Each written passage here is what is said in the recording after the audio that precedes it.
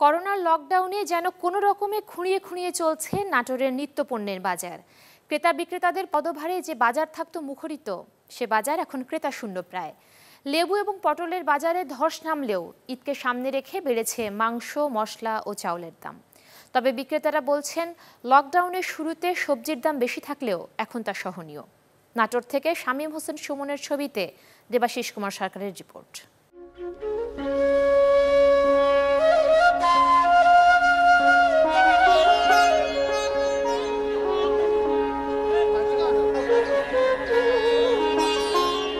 ক্রেতা বিক্রেতাদের হাঁকডাক এবং দরে দামে নাটোরের পাইকারি বাজার মুখরিত থাকলেও খুচরো বাজার এক প্রকার জনশূন্য।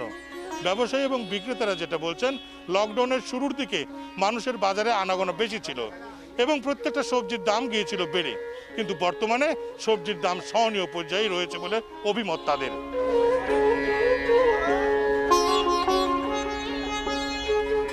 বাজারে ঢোকাটাই মুশকিল আমরা ঢুকতে পারি না। বহু কষ্ট করে ঘুরে তারপর বাজারে ঢুকতে হয়। লকডাউনের শুরুতে সবজির দাম অনেকটা বেশি ছিল এখন বর্তমানে দাম অনেক কমে গেছে।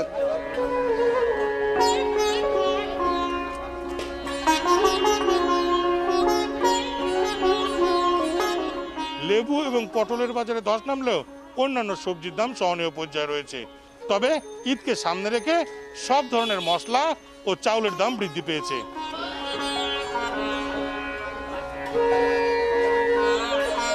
আগে আট টাকা ষাট টাকা ছিল পিস। এখন আপনার লেবু নেওয়ার লোক নাই।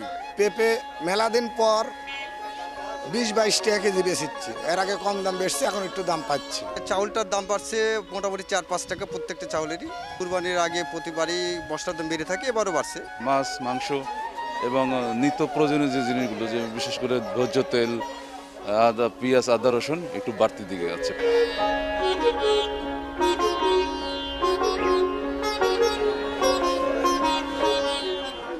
ক্রেতাদের অভিযোগ, প্রতি প্রকার মাছেই দাম বৃদ্ধি পেয়েছে দশ থেকে বিশ টাকা। অপরদিকে মাংসের দামও বৃদ্ধি পেয়েছে। কিন্তু বিক্রেতারা বলছেন, আসলে সরবরাহ কম থাকায় এই দাম বৃদ্ধির কারণ।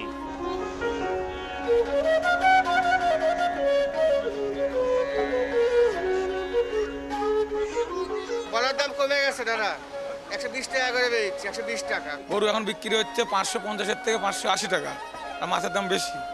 আর খাসি বিক্রি হচ্ছে ছয়শো পঞ্চাশের থেকে সাতশো টাকা।